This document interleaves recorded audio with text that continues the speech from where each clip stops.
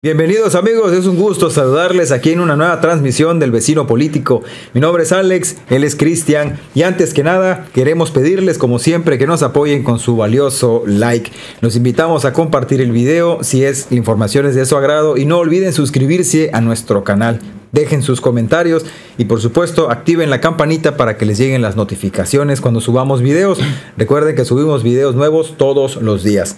Antes de empezar con la información, vámonos al intro.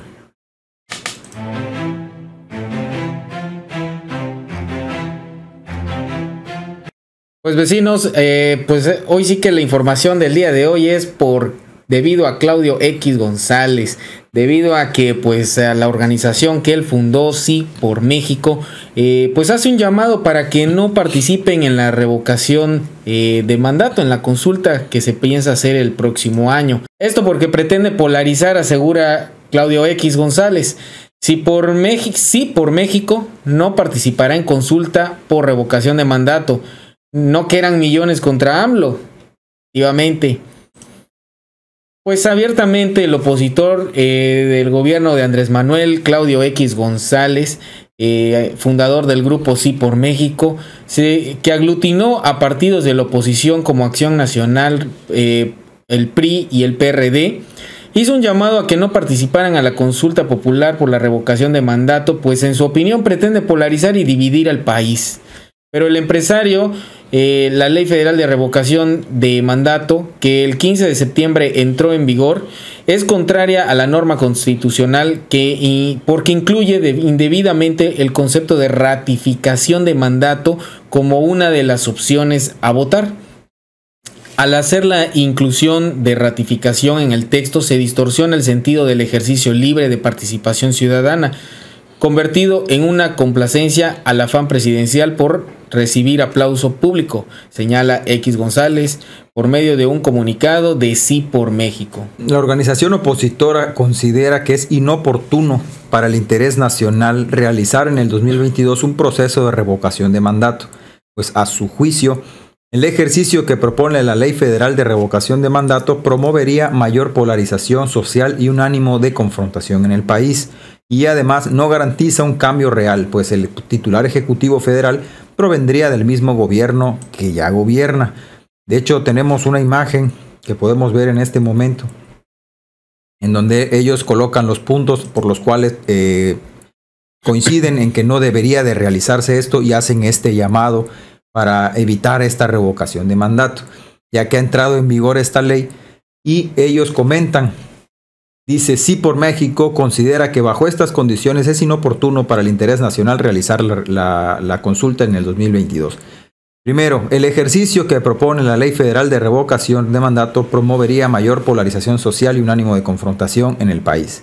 2. El mecanismo constitucional para la elección de un presidente sustituto por parte del Congreso General, suponiendo se decidiera por la revocación, no garantizaría un cambio real, pues el nuevo titular del Ejecutivo Federal provendría del mismo movimiento que gobierna. No ofrecería al país una verdadera mejoría al extravío que padece. El gasto presupuestal que implicaría una elección innecesaria sería un acto irresponsable cuando las necesidades de los en los sectores de salud, educación, seguridad y fomento al empleo son apremiantes. Ese es el tercer punto. Y el cuarto, eh, pues dice que con la conclusión, con la inclusión de la opción de la ratificación de mandato, el presidente tendría el pretexto para dedicarse a hacer campaña personal durante los siguientes siete meses, abandonando su función gobernante en detrimento de los intereses del país. Por estas consideraciones, sí por México no promoverá la, consecución de firmas que la Constitución exige para la realización del proceso de revocación de mandato en 2022. Efectivamente, sigue siendo un tema polémico y dice aquí ya para finalizar, en vez de desgastarse en una elección improcedente e innecesaria, convocamos a todas las mujeres y hombres de este gran país a exigir que el presidente cumpla con su mandato sin regateos, que haga un esfuerzo serio por comprender, atender y resolver los graves problemas que enfrenta México y que deje de ser un factor de polarización y discordia.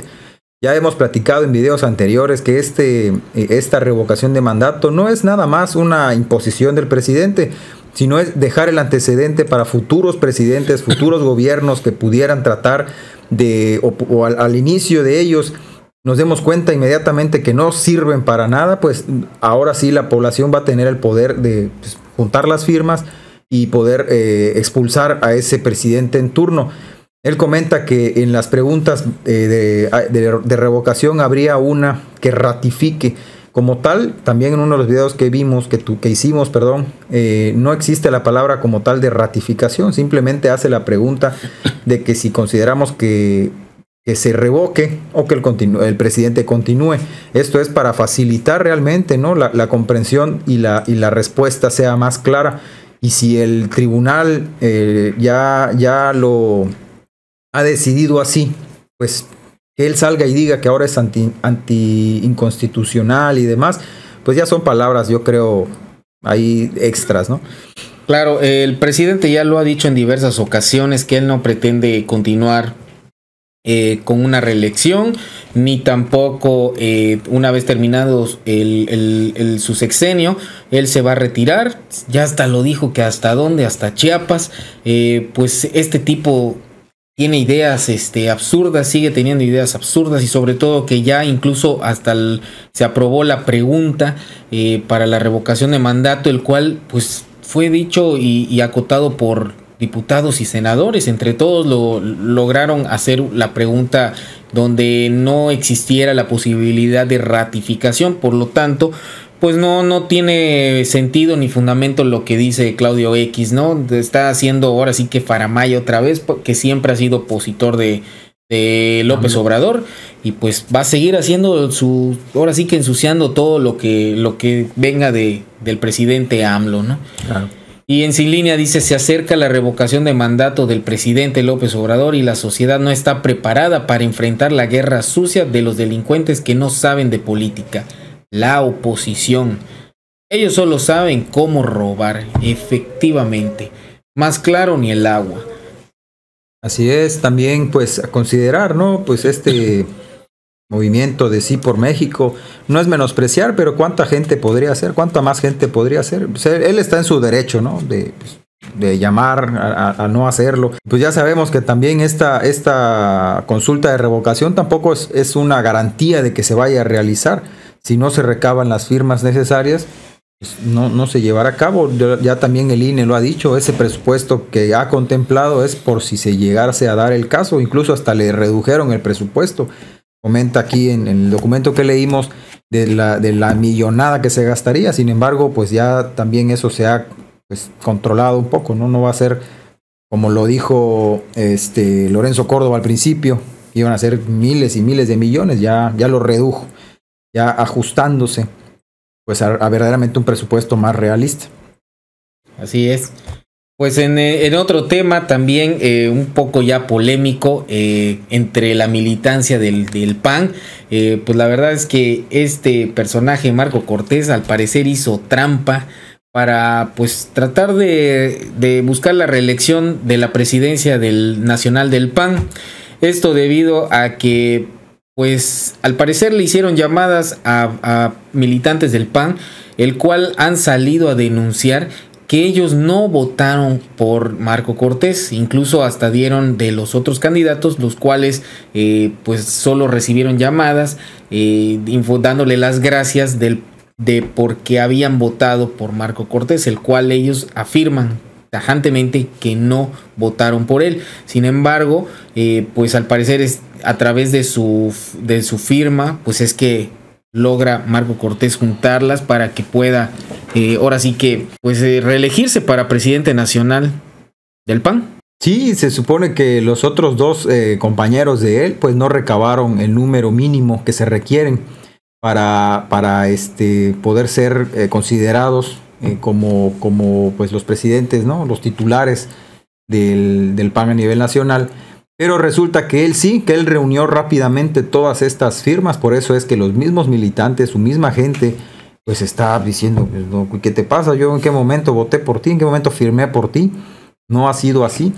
Por ejemplo, un ejemplo de ello es Rocío Teisier, quien es militante del PAN en Orizaba, Veracruz. Ella, ella dice en sus redes sociales, quería comentarles que el día de hoy recibí dos llamadas, una de Jalapa y otro con un número de la Ciudad de México, donde agradecían mi firma a favor de nuestro compañero Marco Cortés. En ambos casos, a las dos personas que me llamaron les hice saber que yo no firmé a favor de Marco Cortés y mi firma es para Adriana Dávila, expresó esta joven Rocío Teisier.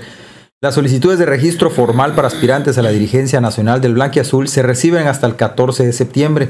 Una vez recibidos, la comisión tiene hasta el 23 de septiembre para resolver su procedencia, o sea, validar que estas firmas sean reales, a fin de que la campaña arranque el 24 de septiembre hasta el 23 de octubre. Será a partir del 24 cuando se lleve a cabo la, la contienda interna. Pero ya con todo esto, pues básicamente Marco Cortés sería reelegido. sería reelegido, sería el único. Sí, porque de hecho eh, también se ya se dio a conocer de que no, no hubo este, pues ahora sí que otro, otro candidato para la, para pelear por la presidencia nacional, nada más debido a que Marco Cortés fue el que consiguió las firmas necesarias, por eso es que él quedó como único candidato. Así que prácticamente va a ser eh, puro trámite esto, pero ni ellos mismos entre ellos mismos dejan de ser tan corruptos. Si aquí desde el mismo partido lo hacen, ¿qué esperan los ciudadanos cuando que, quieren gobernar? Sí, de esta forma. No, váyanse a España con los de Vox. Eso iba a comentar, o sea, desde allá tenemos eh, la, falta de, pues hoy sí que de, de, palabra o la falta, o sea, si el PAN se ha visto inmiscuido últimamente en muchas situaciones de este, de este tipo, eh, ni siquiera cuando vino el partido Vox que hayan tenido los pantalones bien puestos de reconocer. de reconocer y mantenerse en esa línea, ok, esa es mi ideología política, pues ahí me quedo, no.